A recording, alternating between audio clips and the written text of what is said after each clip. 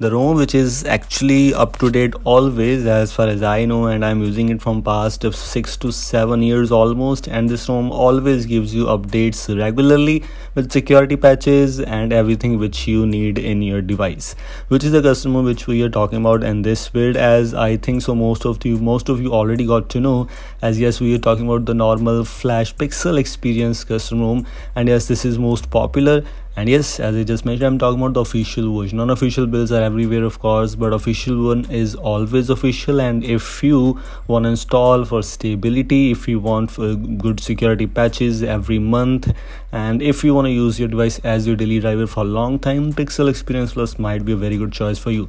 Yes pixel experience or pixel experience plus depends upon your choice whichever you want to choose. But yes i sometimes use pixel experience plus because of some basic things some extra few of the things some basic features which you have available in pixel experience plus edition. As you can see it has this kind of options uh, in available in this pixel experience plus edition with quick settings panel. The animations are kind of same of course and you have the black kind of quick settings panel now available in this latest android 12.1 because the previous updates with pixel experience plus edition may be only one update there was a white background but now again with the black or dark one. But if you move on to the things which you have here by default if you want to root your device you can try a lot of things but if you don't want to root your device SafetyNet status etc just passes without any issues that passes out of the box. You have the option for battery stats. Sorry we have the option of battery usage for the past for 24 hours instead of the last full charge. So basically it will not give you any kind of modifications.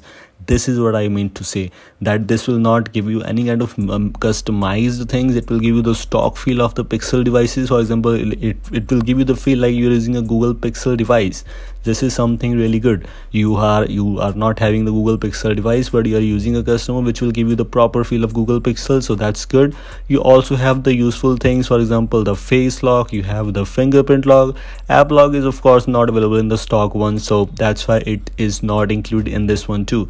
Remember we are not using a major custom ROM which includes a major features. It will give you only useful things which you need to use on a device as your daily driver so yes that's why this ROM is actually one of the best one and one of the most stable custom ROMs and i told you many times this thing so i think so you already got this. Yes of course it is also having the june security patch right now. The best thing is it will give some pixel features. For example this quick tap by the way i tried using the quick tap even with my back cover in and yes as you can see the quick tap detected and that was super good. Even though i'm not using a google pixel device but still it is detecting my quick tap if i try to double tap again you can see the screenshot is now done. This is something really useful. With this heavy back cover which i'm using right now it's still just able to detect that that's something really good.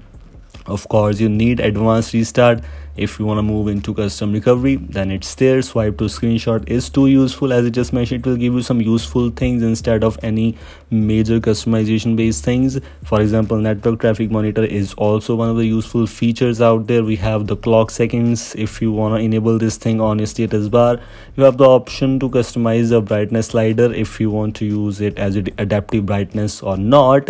And last but not the least some buttons options. For example the gestures the full screen gestures if you want to use you can or if you want to use a three button navigation you can.